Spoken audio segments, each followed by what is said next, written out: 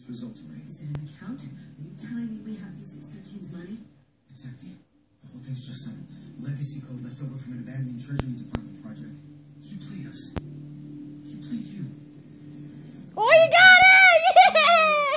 Yeah! Good job, buddy. Are you working with Because that was happening. It's not preposterous.